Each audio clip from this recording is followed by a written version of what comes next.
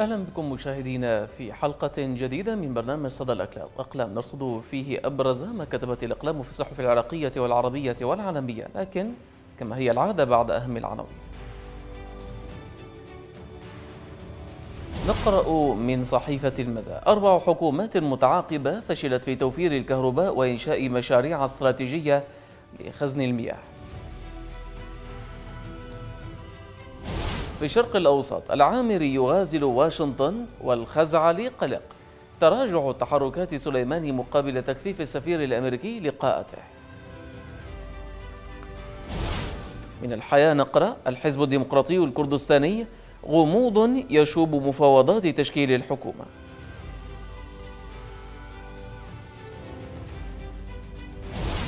وفي القدس العربي الأردن بعد إقالة الحكومة الإضراب مستمر ودعوات حركية للتصعيد وإسقاط البرلمان.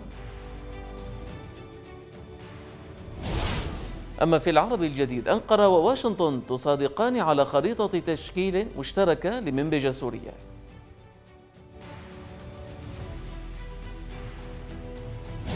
في الخليج الإماراتي شهيد بنيران الاحتلال في غزة واعتقالات بالضفة وهيئة مسيرات العودة تدعو إلى مليونية القدس يوم الجمعة. أخيرا في موقع الخليج أونلاين الأمم المتحدة تفاوض الحوثي على إشراف دولي بميناء الحديدة.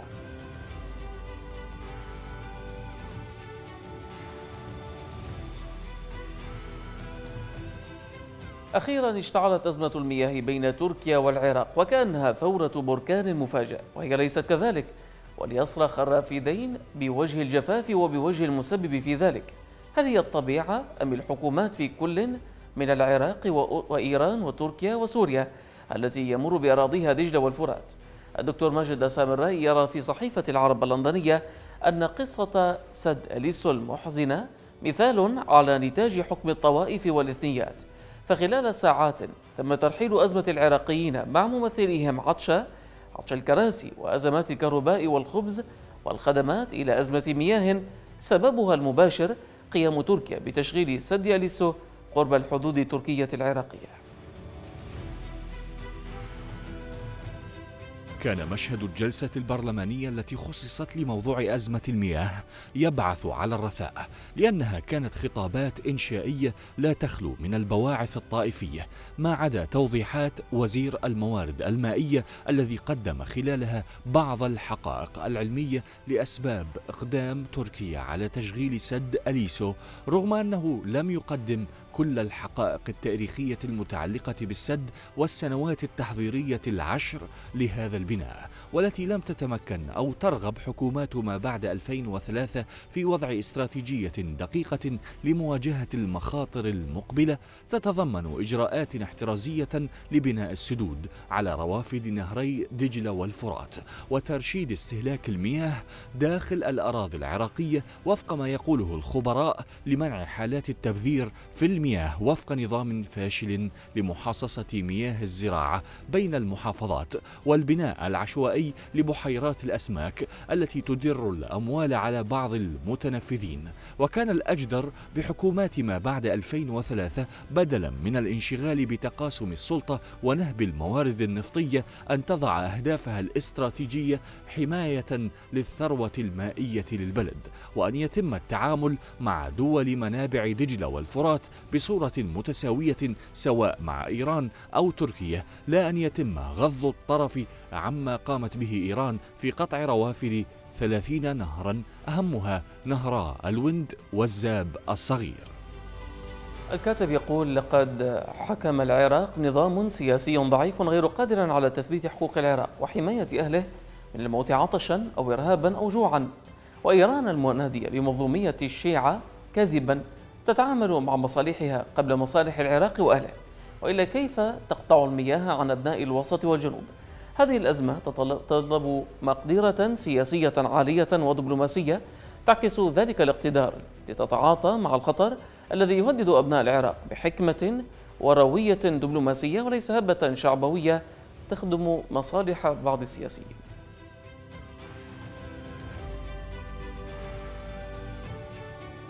تناولت الكثير من الصحف والفضائيات ووسائل الإعلام الأخرى ومواقع التواصل الاجتماعي بشيء من الدهشة وربما الصدمة والاستهجان والاستغراب. عمليات التزوير الكبرى التي جرت في الانتخابات العراقية الأخيرة.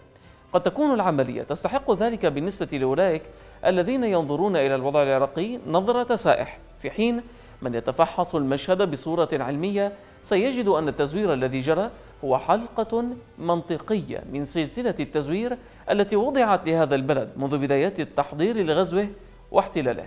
هذا ما أشار إليه الدكتور مثنى عبد الله في مقاله بصحيفة القدس العربي.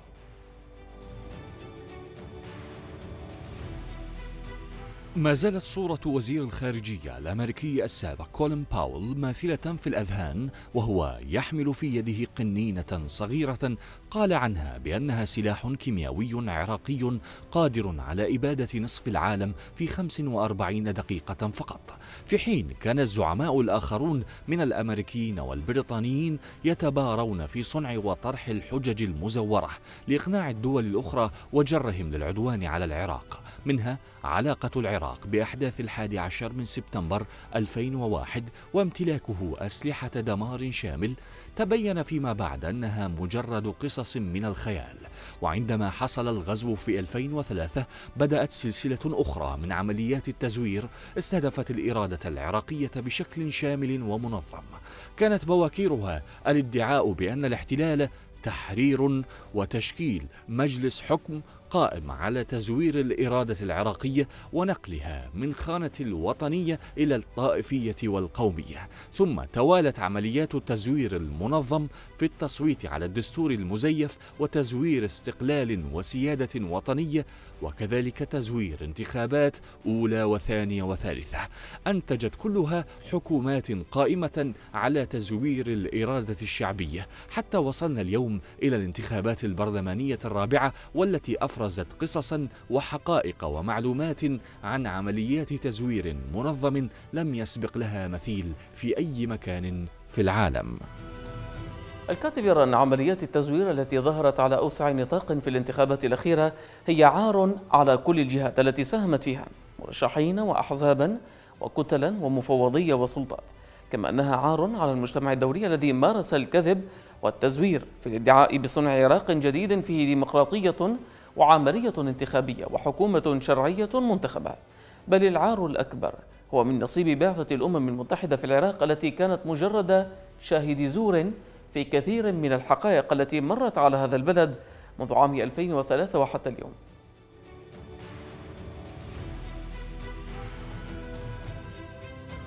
من المقرر دستوريا أن تتحول حكومة رئيس الوزراء حيدر العبادي إلى حكومة تصريف أعمال بعد 24 يوما من الآن. ومع ذلك فإن مفوضية الانتخابات لم ترسل حتى الآن نتائج الانتخابات إلى القضاء للمصادقة عليها كما أن الطعون والقضايا المرفوعة بشأن نزاهة عملية الاقتراع ما زالت عالقة بانتظار بت المحكمة الاتحادية بها. صحيفة العرب الجديد تقول في تقرير لها إن هناك حراكا أمريكيا وإيرانيا يسبق الفراغ الدستوري من أجل تشكيل الكتلة الأكبر التي ستشكل الحكومة المقبلة.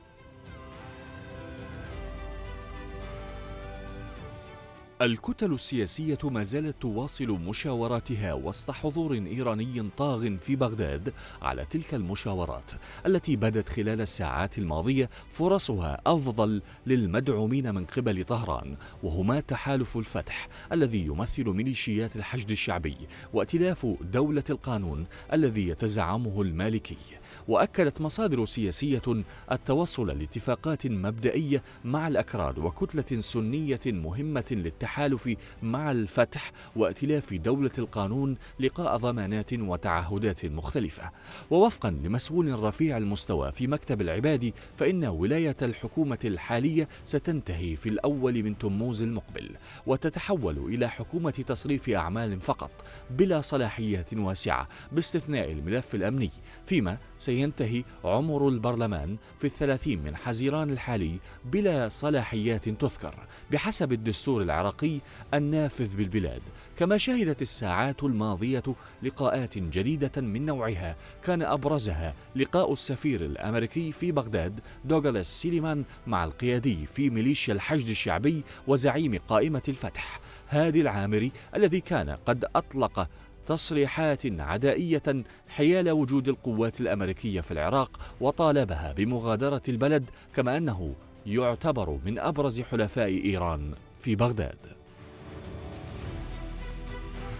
الصحيفة تختتم تقريرها بالإشارة إلى أن نتائج الانتخابات ما زالت مصادقة قضائية.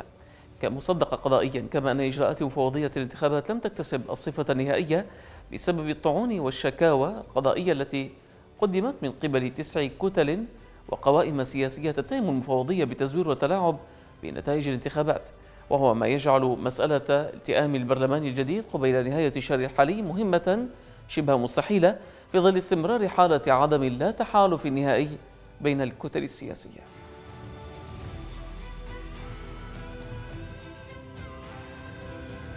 الموعد الذي حددته بريطانيا وفرنسا وألمانيا مع إيران منتصف حزيران الحالي للبحث في إنهاء حرب اليمن هو بين أطراف تائهة ومتخبطة. عدا أنها متناقضة أصلا لكنها متعطشة لإثبات أنها فاعلة ويمكنها أن تحقق اختراقا في أزمة إقليمية.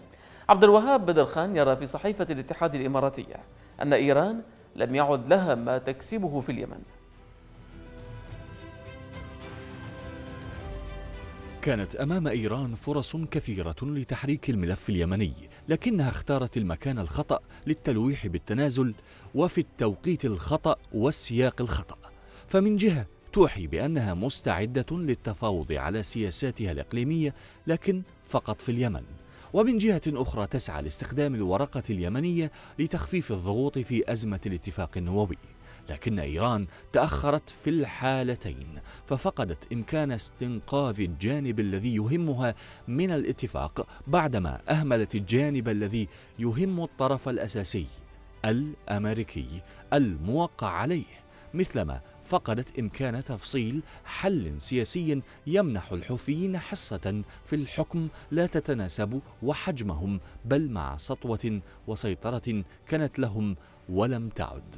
المتوقع أن تبلغ معركة الحديدة أهدافها قبل الموعد المشار إليه وسيكون الأوروبيون عندئذ إزاء شريك يخسر ويريد إنقاذ ما يمكن إنقاذه لإبقاء حوثييه في المشهد السياسي اليمني. وسيجد الإيراني نفسه أمام محورين لا يستطيعان مساعدته. لوقف مسلسل هزائم الانقلابيين فهو يريد اجتماع فيينا وسيلة لفتح سوق المساومة على اليمن وتكريس وجوده طرفا فيها. ولأجل ذلك قد يلوح بأقصى التنازلات خصوصا كونه بات مدركا جيدا أنه لن يكسب شيئا من استمرار الحرب. الكاتب أن الحوثي أصبح ورقة محروقة تضعف أيضا تضعف أيضا موقف إيران وعروضها لإنهاء الحرب مثلما أن ادعاء مصالح لها في اليمن كان واهيا بالأساس. ولعل الأفضل لإيران أن تشرع في نسيان اليمن ونسيان العاصمة الرابعة التي هللت للسيطرة عليها.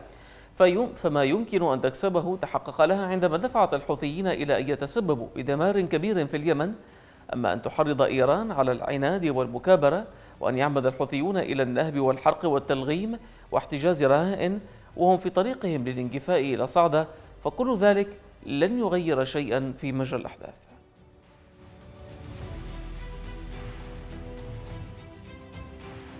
أشارت صحيفة التايمز البريطانية في تقرير لها إلى أرشيف إيران النووي السري الذي أعلن عنه رئيس الوزراء الإسرائيلي بنيامين نتنياهو مؤخرا أنه حصل عليه وكيف أن التعاطي الجمعي لهذا الأمر في أنحاء المنطقة ولد إحساسا بأن الحرب الخفية بين العدوين على وشك الدخول في مرحلة جديدة محمومة في حين ظلت طهران صامتة واعتبرت الأمر حيلة قديمة مكشوفة وتساءلت الصحيفة هل يكشف كنز الموساد للأسرار النووية خداع طهران؟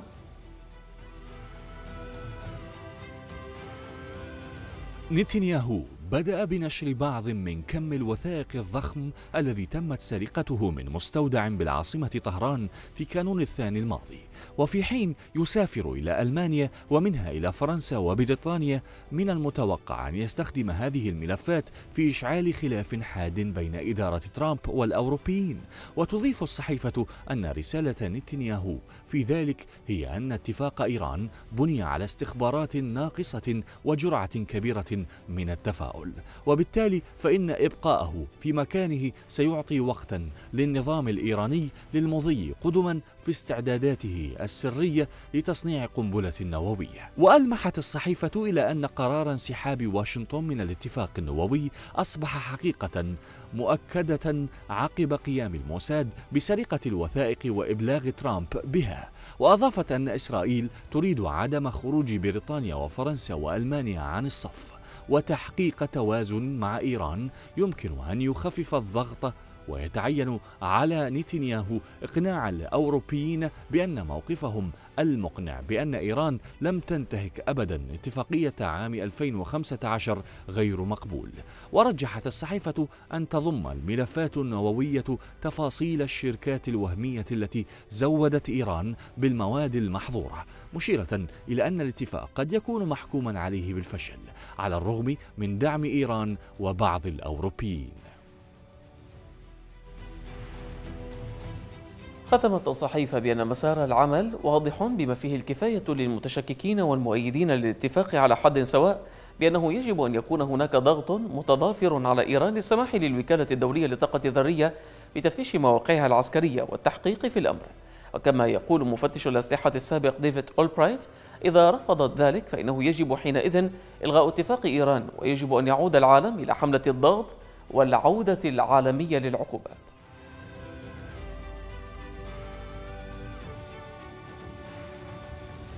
أخيرا يبدو أن القمة الأمريكية الكورية الشمالية صارت مؤكدة من حيث الزمان والمكان لكن تفاصيل دقيقة ولوجستية وأمنية لا تزال قيد البحث بين الوفود التي تقوم بالاستعدادات فما الذي يجري في هذا السياق؟ في هذا الإطار يقول الكاتب موتوكو ريتش في صحيفة واشنطن بوست الأمريكية إنه قد يبدو للوهلة الأولى وكأن كل ما تحتاجه القمة المرتقبة هو غرفة تحتوي على طاولة وبعض الكراسي بيد أن الواقع وأن التخطيط سيتطلب تقرير تفاصيل لا حصر لها بحيث تشمل حتى أدق الأمور. فهي قمة غالبا ما ستكون عبر مفاوضات دبلوماسية صعبة. الكاتب يقول إنه حتى قبل أن يعلن ترامب عن أن اجتماع القمة قد عاد بعد أن سبق إلغاؤه فقد وصلت وفود من الولايات المتحدة وكوريا الشمالية إلى سنغافورة وذلك للإعداد لها ووضع اللوجستيات المناسبة لها. وسيتفاوض الوفدان على كل شيء بدءا من موقع الاجتماع إلى الجانب من الطاولة الذي سيجلس فيه كل من الزعيمين. ومن سيسمح له بالحضور معها؟ وعدد الوجبات وأوقات الراحة وما يجب تقديمه لهما والهدايا التي يمكن تبادلها وما سيتحمله كل فريق من نفقات هذا اللقاء. ويضيف الكاتب أن الأولوية القصوى لكلا الجانبين هي الأمن. موضحا أن سنغافورة ستتحمل المسؤولية عن ضمان الأمن على الطرق والمرافق العامة الأخرى بوصفها البلد المضيف. لكن الولايات المتحدة وكوريا الشمالية ستشرفان على سلامة القادة. ويشير الكاتب إلى أن فيلقا من موظفي الخدمة السرية عادة ما يرافق الرئيس الأمريكي عند قيامه برحلة دولية وذلك بالإضافة إلى سيارات ليموزين ومروحيات وعربات حماية أخرى. بيد أن خبرة الزعيم كيم تعد قليلة في السفر إلى الخارج كقائد حيث ستكون سنغافورة هي أبعد مسافة يسافر فيها منذ وصوله إلى السلطة في 2011 الكاتب يقول إنه من غير المعتاد أن يعقد زعيمان اجتماع قمة في دولة ثالثة ما لم يكونا قد التقيا على هامش اجتماع دولي ينسب دبلوماسي مخضرم القول ينسب لدبلوماسي مخضرم القول إنه سيكون لترامب اليد العليا عندما يكون المكان هو سنغافورة.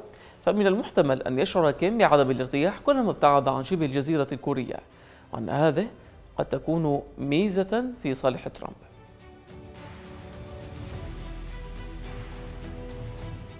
هبطت كبسولة الفضاء الروسية سويوز على متنها ثلاثة رواد فضائيين فضائي فضاء قادمين من محطة الفضاء الدولية في أراضي كازاخستان.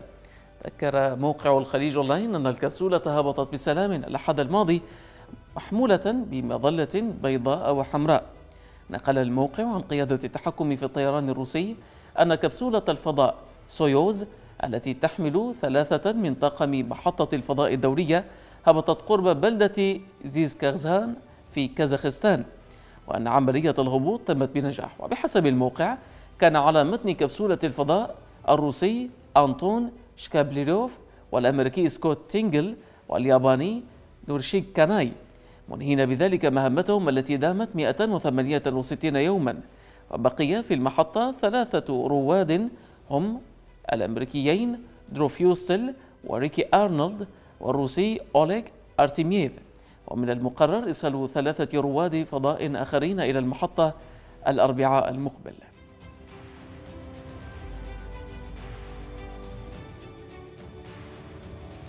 إلى الكاريكاتير.